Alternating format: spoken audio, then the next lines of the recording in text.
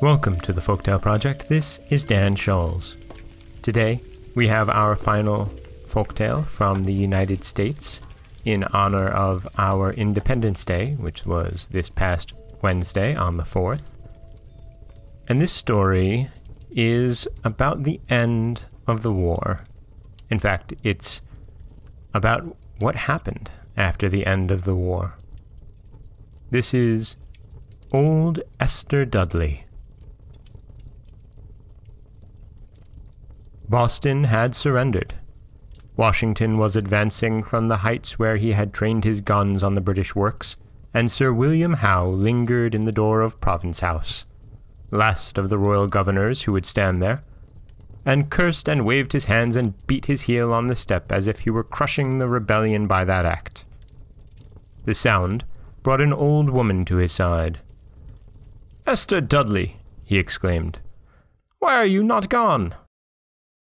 I shall never leave.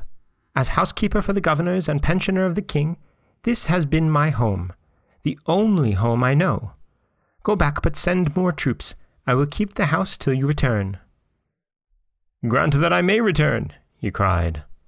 Since you will stay, take this bag of guineas and keep this key until the governor shall demand it. Then, with fierce and moody brow, the governor went forth, and the faded eyes of Esther Dudley saw him never more. When the soldiers of the Republic cast about for quarters in Boston town, they spared the official mansion to this old woman. Her bridling Toryism and assumption of old state amused them and did no harm.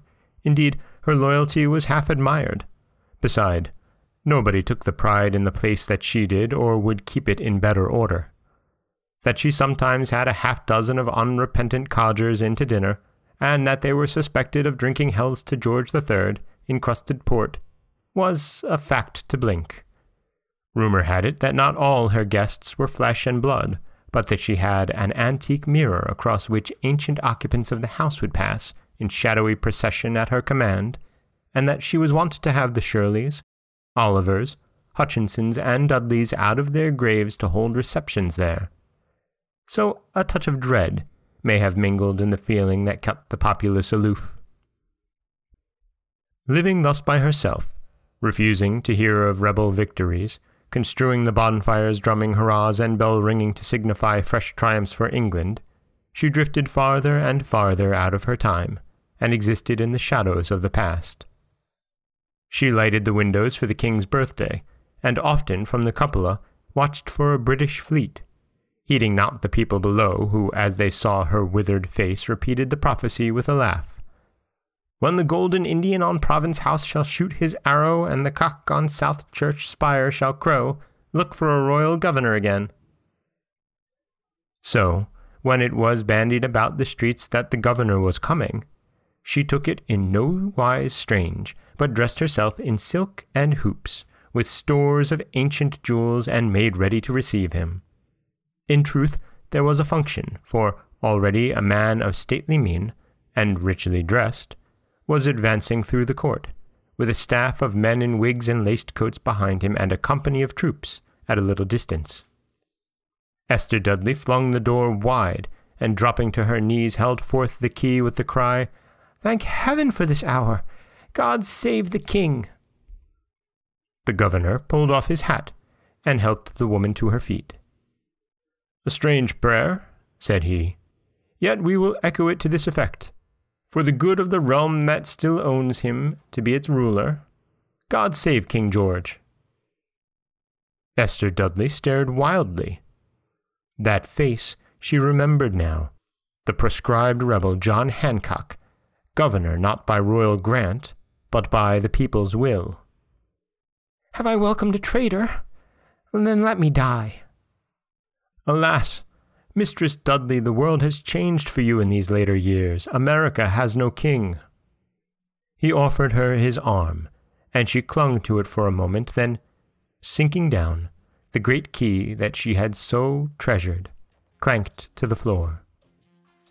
I have been faithful unto death, she gasped. God save the king. The people uncovered, for she was dead. At her tomb said Hancock. We will bid farewell forever to the past. A new day has come for us. In its broad light, we will press onward.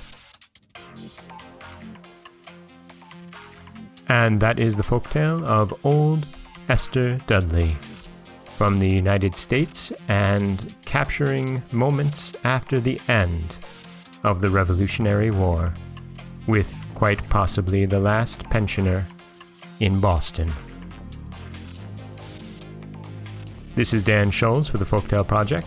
Don't forget that you can subscribe to the podcast on Apple Podcasts, Stitcher, Google Play, Overcast, anywhere you like to get your podcasts.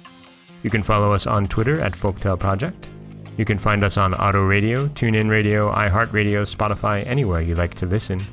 And you can always head over to folktaleproject.com, where you'll find a new story waiting for you every Monday, Wednesday, and Friday.